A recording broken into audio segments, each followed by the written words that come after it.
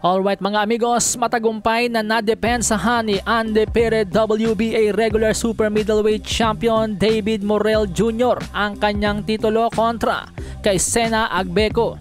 Sa loob lamang ng dalawang rounds mga amigos, tinapos agad ni David Morrell Jr. ang laban bilang final boxing match sa Showtime. Nang ibabaw ang bilis, lakas at husay ni David Morrell sa laban mga amigos, at hindi nga po makasabay at makasagot ang knockout artist ng Ghana.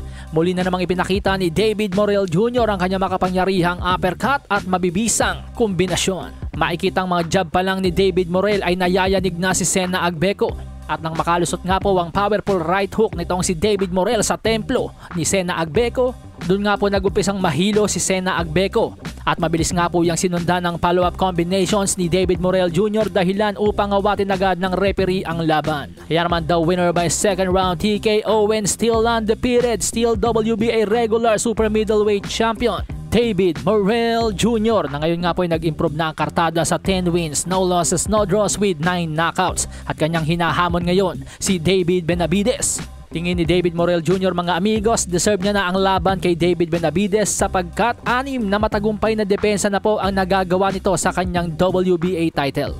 Sa iba pang balita mga amigos, naagaw na po ni Jesse Bam Rodriguez ang IBF World Flyweight title ni Sonny Edwards sa pamamagitan po ng corner stoppage. Papasok ng 10th round mga amigos, winagayway na po ng kampo ni Sonny Edwards ang puting towel hudyat ng pagsuko sa laban. At dahil nga po doon mga amigos, isa na Unified World Flyweight Champion si Jesse Bam Rodriguez. Siya na ngayon ang nagmamay-ari ng IBF at WBO World Flyweight title. Segundo na lang po nalalabi sa round 9 mga amigos ng kumonekta ang mapaminsalang left straight ni Jesse Bam Rodriguez na siyang naging dahilan ng pagbagsak ni Sonny Edwards. Pero bago pa man maka-score ng knockdown si Jesse Bam Rodriguez mga amigos dahil po sa malalang pinsala na rin. Biyak sa kilay at mga pasa sa mukha, binantayan na po talaga ng ring position ng kalagayan ni Sonny Edwards.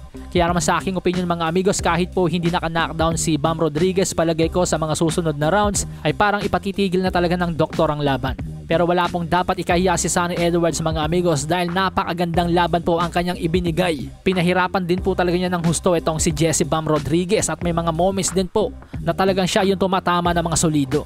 Hindi po ako magtataka kung manominate o manalo as fight of the year itong laban ni Sonny Edwards at Bam Rodriguez. Malasahin ang baraha Patunayan mo sa akin ha Sino man ang mabunot na kalaban Di ka tatakbo ha Sa ko sa bayan